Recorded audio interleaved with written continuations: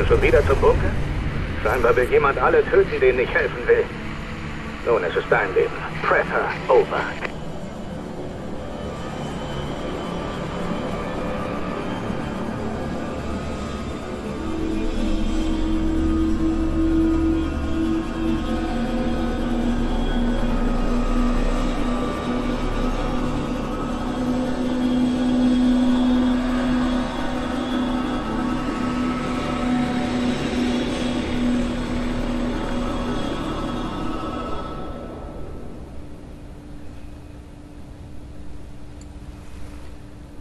Tonk, liebe Mitmenschen.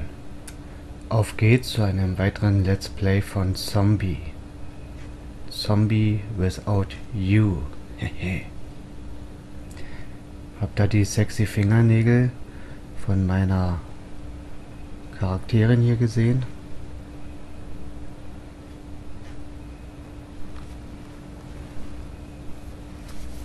So, dieser Part wird auch wieder live gestreamt on Twitch. Wir spielen blind. Das heißt, das Spiel spiele ich zum ersten Mal. Ich spiele es komplett durch. Ich wiederhole mich. Wir können mal ruhig das Licht, die Taschenlampe ausmachen. Wir haben ja den Generator vollgetankt und es ist hier im Safehouse wieder hell. Apropos hell, wir spielen heute um 11 Uhr in aller Herrgottsfrühe. Ich gucke gerade raus, es ist auch schon hell geworden. Es ist ein herrlicher, herbstlicher Oktobertag. Die Sonne scheint, trotzdem ist es kühl. Ein schöner Tag, um rauszugehen, zum Spazieren zu gehen oder eben ein Videospiel zu spielen, was zu dieser Jahreszeit passt.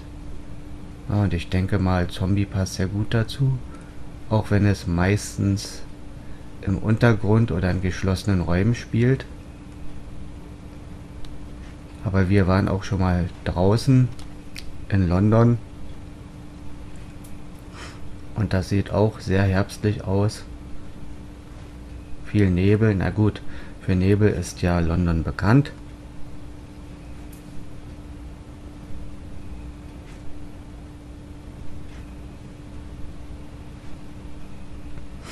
Ja, ich versuche selber immer wieder irgendwie Videospiele zu spielen, die zur Jahreszeit passen. Ich weiß auch nicht. Aber genug der Vorwort und Einleitung. Wir schauen erstmal nach. Wir werden jetzt mit dem Spiel beginnen.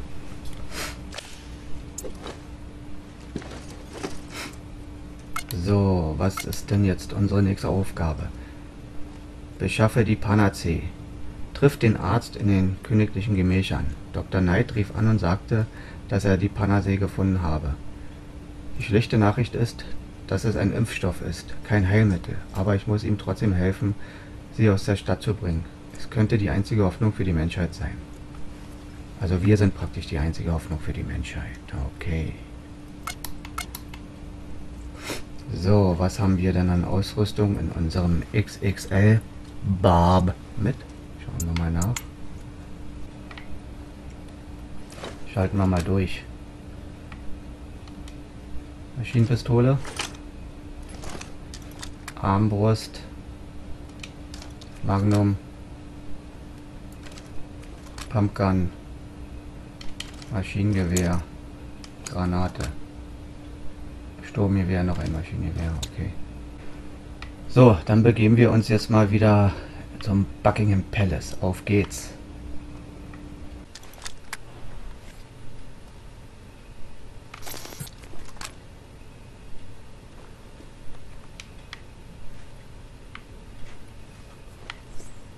Bin gespannt, was uns hier jetzt erwartet.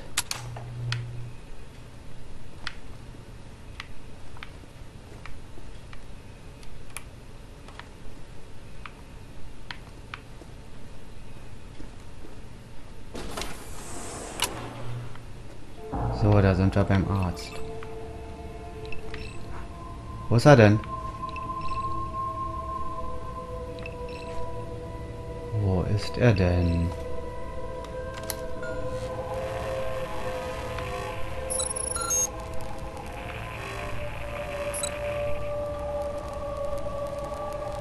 Trifft den Arzt in den königlichen Gemächern.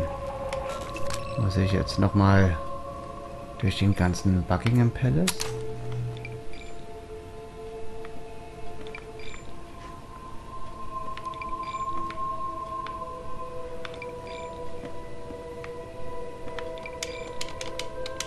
Hier kommen wir nicht rein.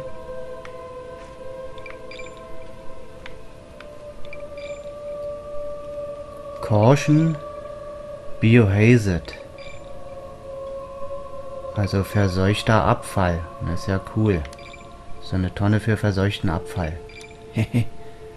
Sollte man auch mal haben und dann für die Müllabfuhr hinstellen. Mal sehen, ob sie den mitnehmen.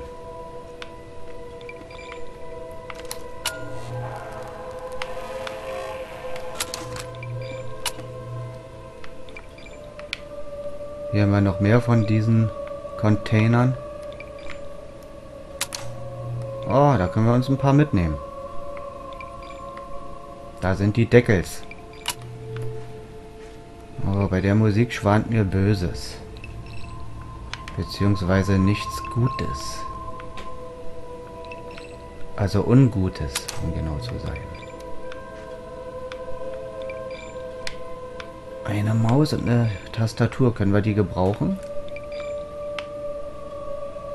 Ein ganzes Computer-Equipment. Boah. Alter. Hm. Ich weiß es nicht.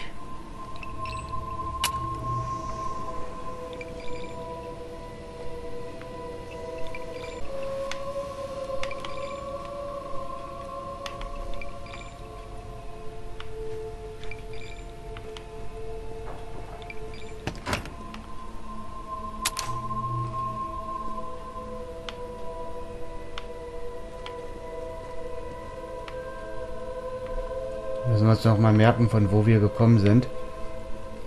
Ähm, kurz davor, da hat mir ein Wolf gesucht und habe den Ausgang nicht gefunden. Ja. Obwohl ich weiß nicht, wie oft schon hier war. So, also neben der Treppe rechts, also wenn man auf die Treppe rauf guckt, rechts, geht zum Arzt zum Labor, okay.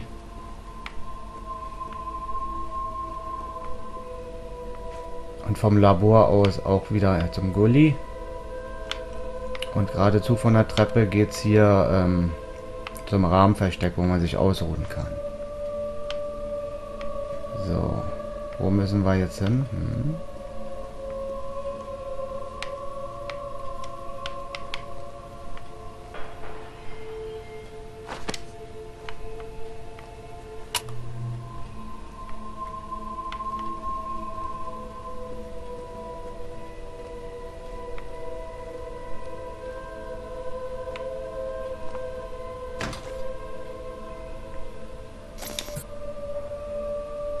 Such den Arzt im Buckingham Palace.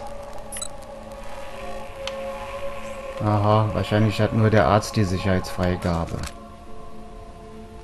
Ja, okay.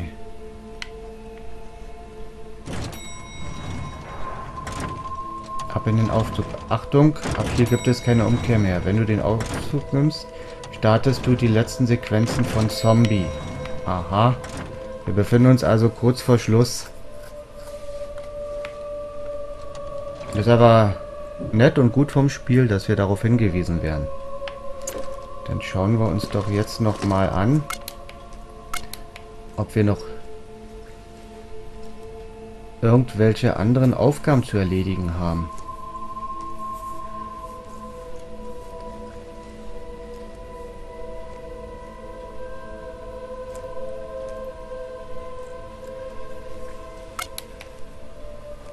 Aber nichts weiter.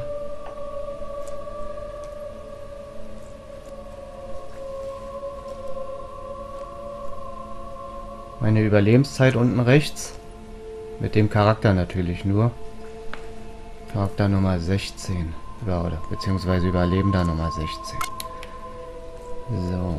Fähigkeiten sind kaum verbessert. Jedes Mal, wenn man krepiert, fängt man wieder bei Null an. Naja, gut. So, dann wollen wir mal schauen. Ich denke mal, wir haben auch alle Orte besucht, die es im Spiel zu besuchen gibt. Die Bricklane-Wohnungen den Tower of London, den Buckingham Palace, Victoria Memorial, das Safe House ist klar, ist die Basis, Brick Lane Markt, Battlefield Green, Bacon Fields. Ja, das war der Kindergarten. Ja, und das Blatt hört auch auf. Und die St. George Church. Ja, also wir haben alles besucht. Ich denke mal, wir sind... Wir haben alle Levels.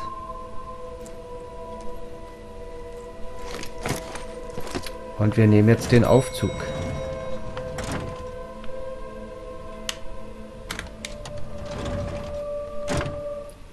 Jetzt gibt's kein Zurück mehr. Uhuhu.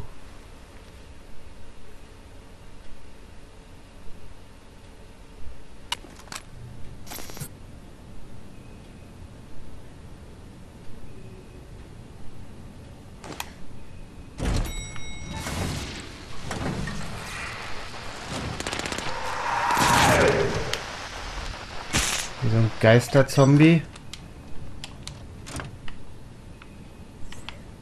Im Kindergarten.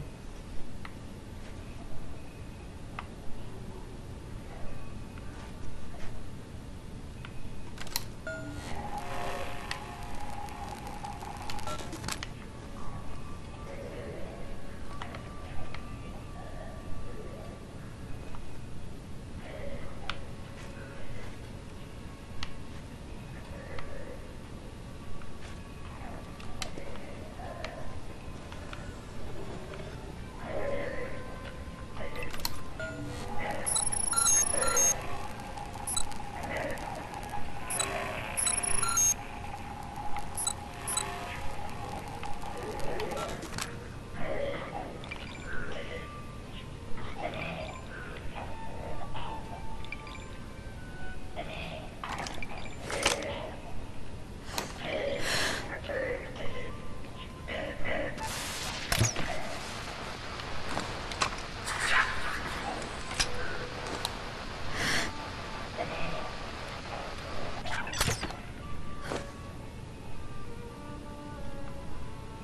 Rennt auch einer um- rum.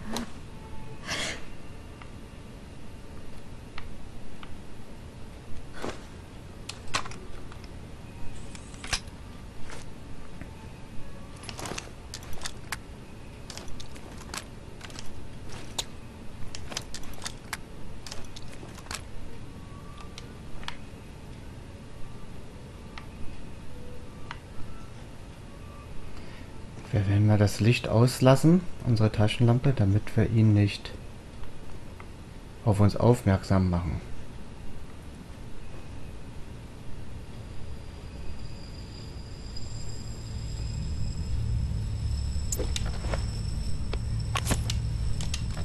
So, unsere Pfeile nehmen wir wieder ab auf uns. Äh, ich meine, nehmen wir wieder auf.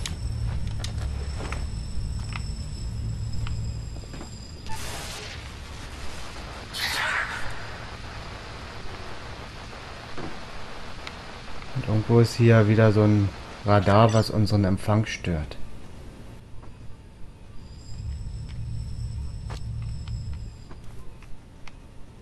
Hier? War der hier? Nein.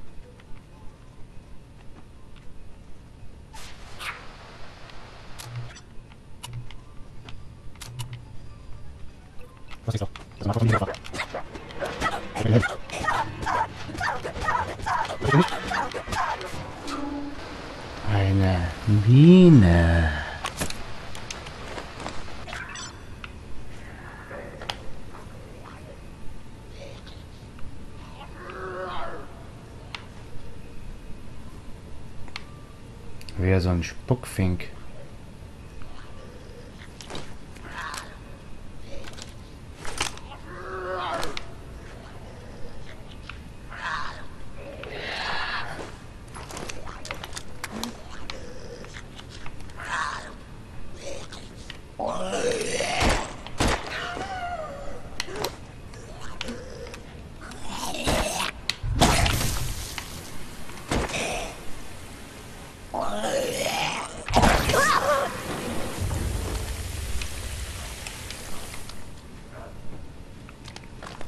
nächste an.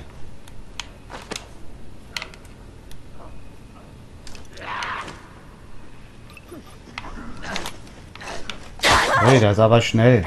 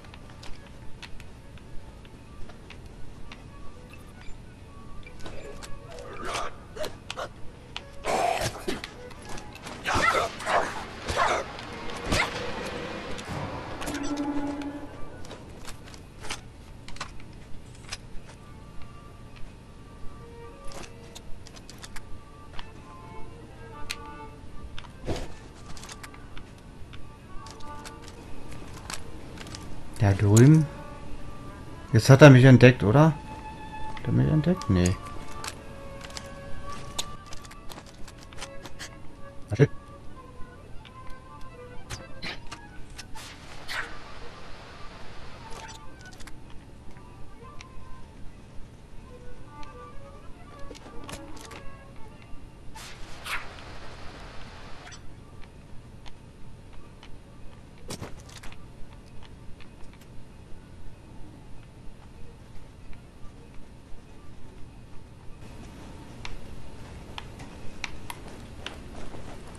Jetzt will ich mal was ausprobieren. Wenn ich jetzt wirklich noch mal den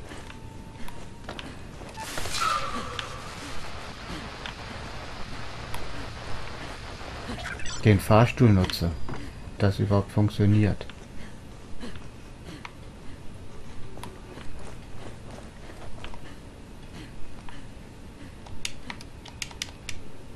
Nee.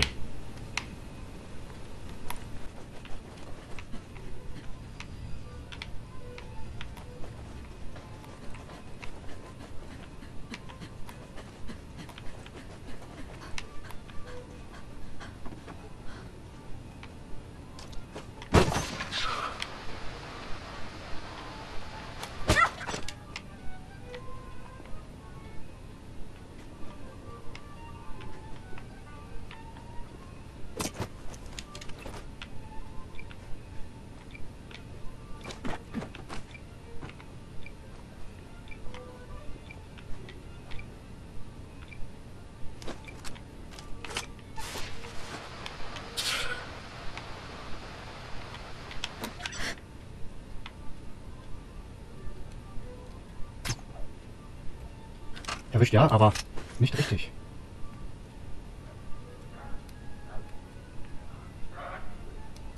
Daneben.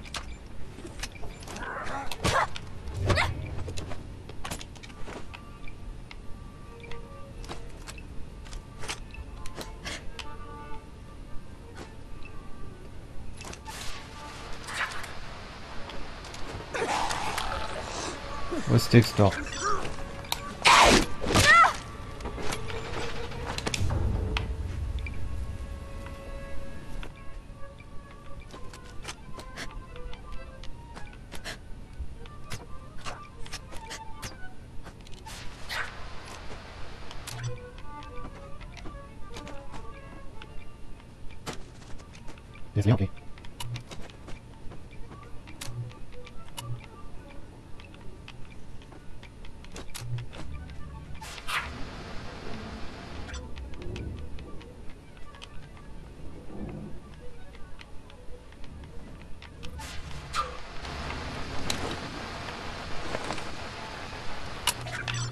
Hier waren wir schon. Ich äh, suche nur den Störsender.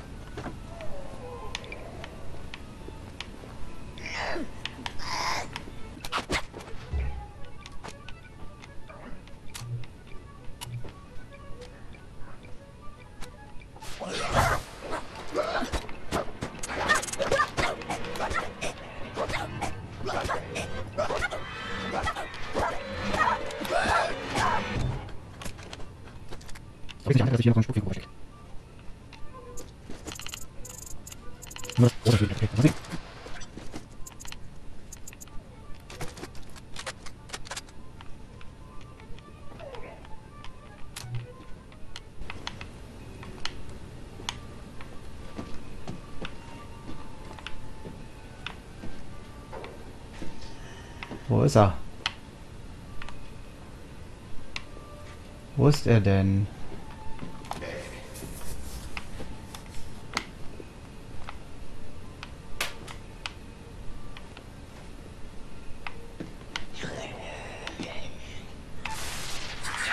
Da oben.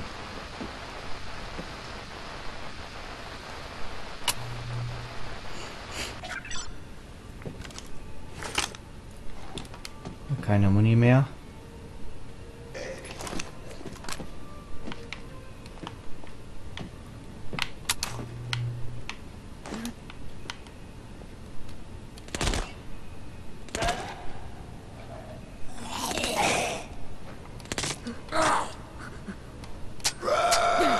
Kann ja nicht wahr sein.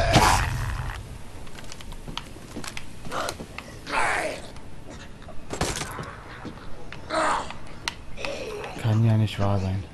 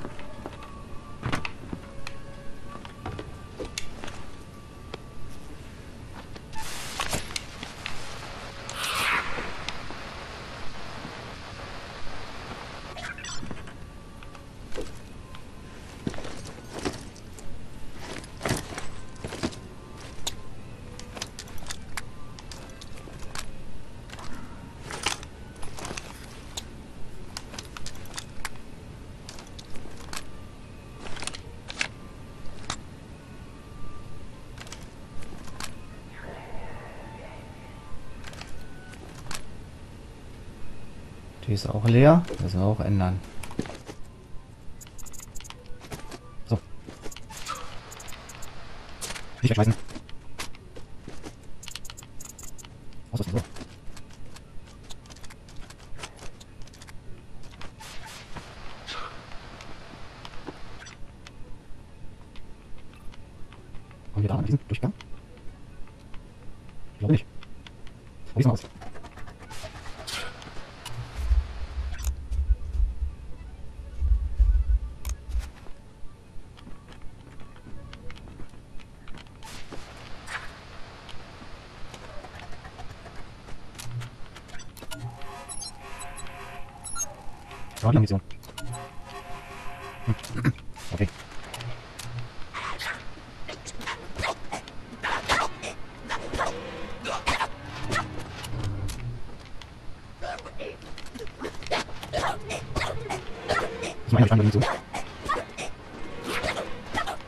Verstehe ich mich jetzt irgendwie zu belangen, dass ich jetzt näher ran.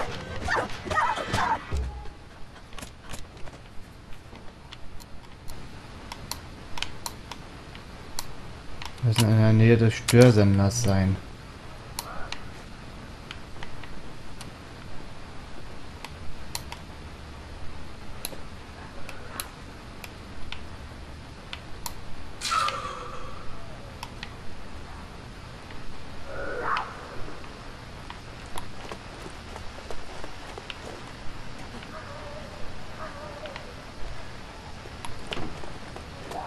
Ich gucke erstmal, ob der hier oben ist.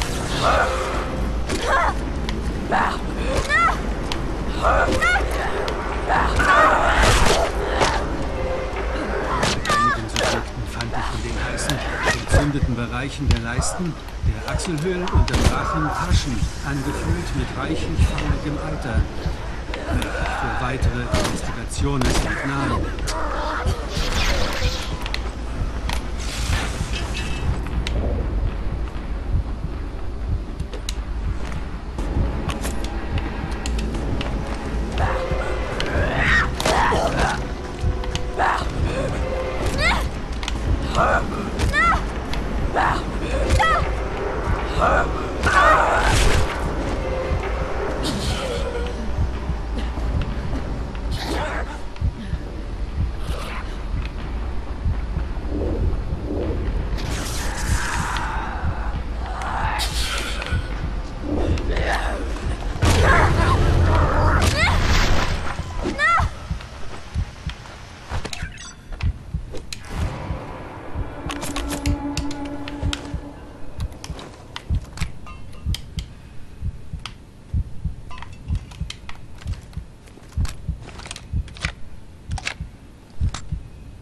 Oh, zwei Schuss.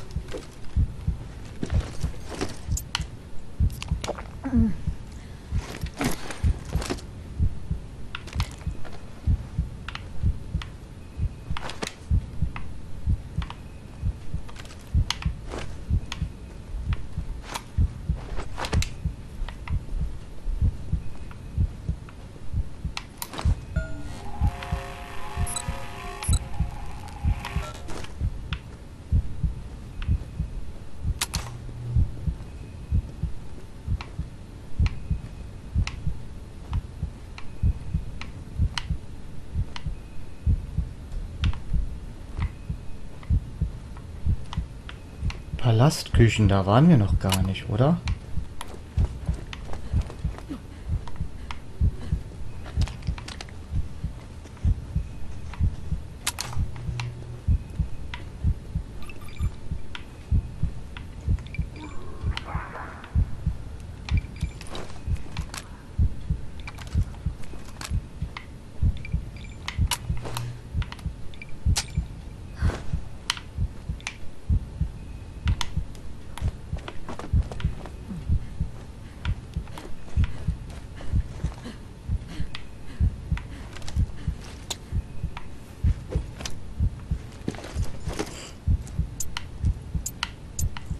Ich Munition mehr.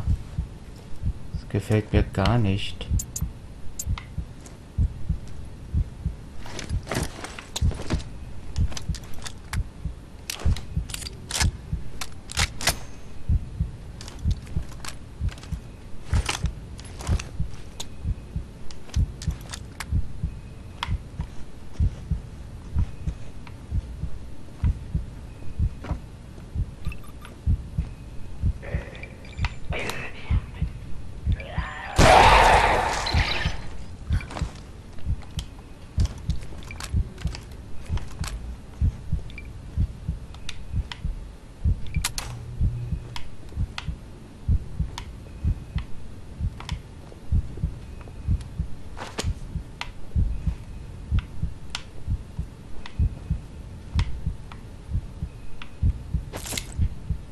Jetzt klappt's. Jetzt kann ich's aufheben.